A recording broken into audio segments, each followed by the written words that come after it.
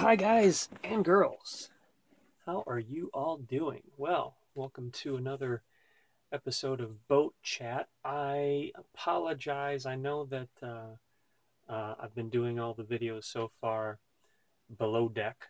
Um, this is the third one. I know that probably there's some people who would like to see a video above deck, see what's going on uh, outside.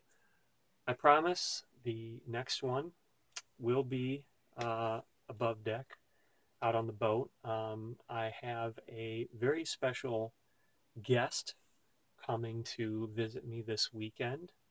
Uh, so perhaps if things go well, her and I will do an episode of boat chat up on up you know up top outside somewhere um, so we can show you around a little bit uh, but today I thought it would be fun to do a video down here as you can see behind me uh, I have a tape deck on the boat and there's a speaker over here and a speaker over here um, and so I uh, when I when I made the decision to stay on the boat, I I saw the tape player and I said to myself, well, I need to pick up some tapes because there wasn't any tapes down here.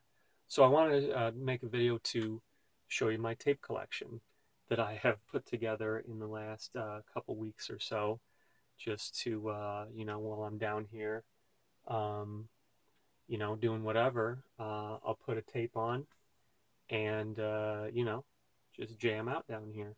So let me uh, go through them real quick. Oh, I got one over here. Hold on. Let's start with this one actually because this is one of my favorites. You got uh, classic Willie Nelson album, The Red-Headed Stranger. Love this one. Absolutely classic. And then we got some uh, Waylon and Willie right there. Clean shirt. I'm not familiar with that this album, but I've been listening to it, and there's some really good stuff on it actually. So that's pretty cool. What else do we got? We have. Let's keep it going with the country. Somebody's got their boat out there. There's some Emmylou Harris, Elite Hotel.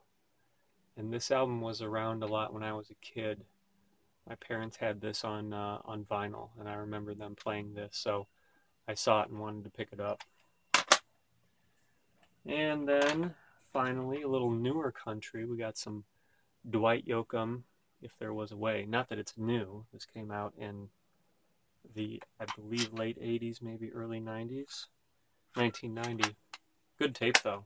Saw Dwight live a handful of years ago. It was okay. Um, and now, let's move into some rock stuff. Of course, you got to have some Journey. This is Frontiers. There's some, oop, there's some really good stuff on this one, actually. Um, Separate Ways, Send Her My Love, Faithfully, all sorts of good stuff. Been listening to this one a lot. Of course, if I have some Journey, I'm also going to have some Foreigner head games. Um, I bought this kind of under the assumption that it was just one of their albums, but it's like, yeah, it seems to me like it's a greatest hits because I mean, Cold as Ice, Double Vision, Head Games, Waiting for a Girl Like You, Feels Like the First Time, Urgent, Dirty White Boy, Jukebox Hero, like Hot Blooded. Come on, that's got to be a greatest hits tape, right? So no complaints. Um, it's super good. It's all their all their really good stuff. Um, here's one that I haven't listened to yet. This is a band called Triumph, and uh, it's called Rock and Roll Machine. Um, I think I have one Triumph album on vinyl, um, but I'm not too familiar with them, so I'm looking forward to checking that one out.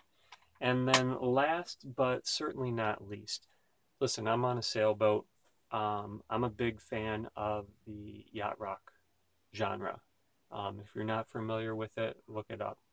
Um, but one of the yacht rock staples is a man by the name of Michael McDonald, and this is his album "Take It to Heart." And this uh, this album is awesome. I've been playing this one a lot. Really, really good stuff.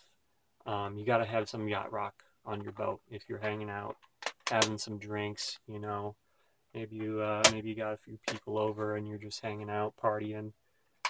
Put on some yacht rock. You're good to go. Thanks for watching. Uh, like I said, next video we'll be uh, hanging out outside.